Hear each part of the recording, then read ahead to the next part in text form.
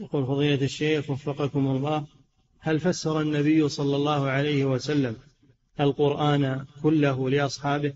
نعم الله أعلم أنه فسره لكن قد يكون بعض ما فات عليهم روايته فاتت روايته عليه الله أعلم. نعم.